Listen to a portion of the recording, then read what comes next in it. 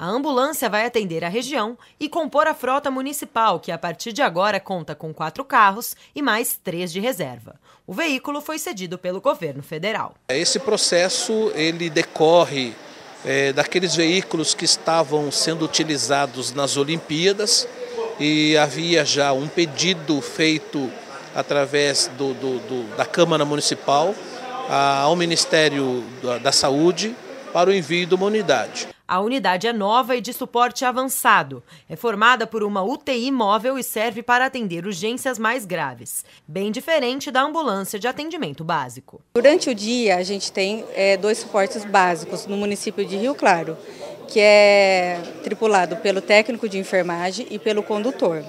Né? Essa é que atende todas as ocorrências né, que mais se vê né, na, nossa, na nossa cidade. Se o suporte básico chega é, na casa e vê que é, precisa do suporte avançado, é acionado e assim o suporte avançado vai até o local. A política do bem comum ela tem que unir os políticos em detrimento da situação da população.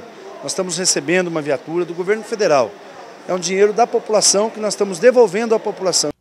Pedidos do SAMU estão a necessidade de novos carros, melhor infraestrutura e mais profissionais. Além disso, hoje há uma região da cidade que precisa de maior atenção. A abertura de uma unidade é, do SAMU na Zona Sul.